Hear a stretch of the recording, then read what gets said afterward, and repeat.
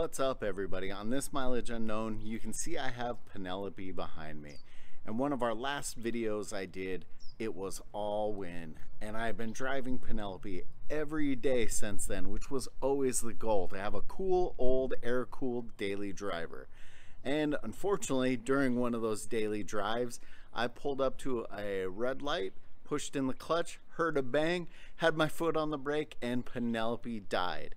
So something has gone wrong with the clutch. Now I am really, really praying it's a cable, but I can tell it's there's still something connected. So we'll get into the issues that it could be. Now when that happened, had my foot on the brake, Penelope died, and I was praying I could get her to turn over in first gear to get her off the road, which I could not.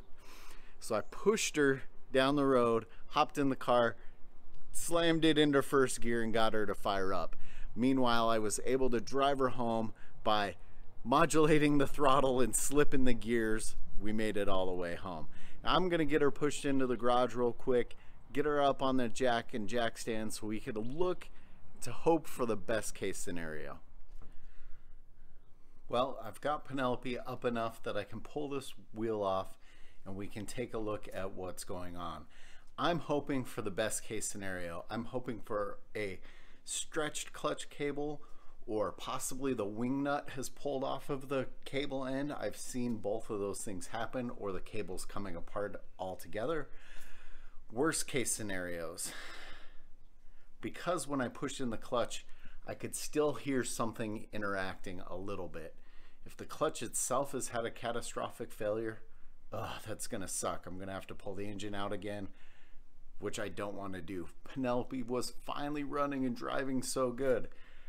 Another worst case scenario the throwout bearing fork has broken. I've seen that happen.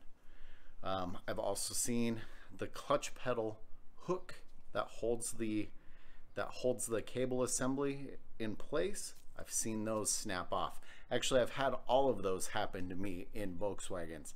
Let's get this wheel off let's keep our fingers crossed. Let's hope it's just a cable or that wing nut pulled. Well, now that we're deep inside, I'm not seeing anything that's just making me scream aha. Now, the cable definitely seems more bent or loose or something, but the wing nut's still on. And it's not like I'm seeing a bunch of clean threads like it pulled.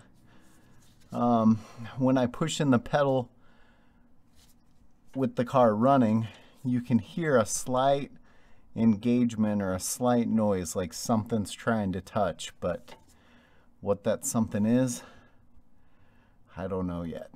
I don't know how good you can hear what's actually going on. Car's kind of loud in the garage.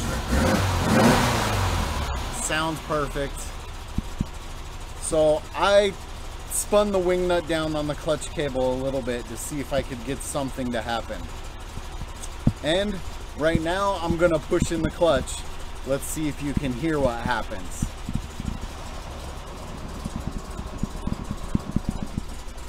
That was me pushing in the clutch.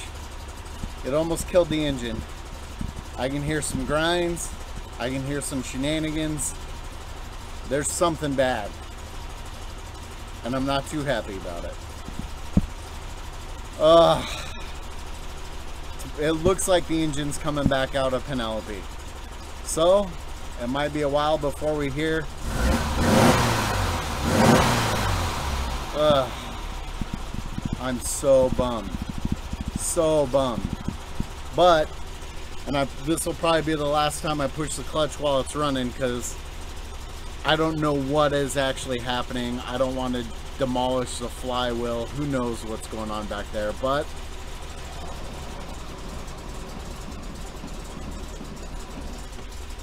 it's not good, whatever it is. That's going to be it for this Mileage Unknown. Stay tuned for more car shenanigans.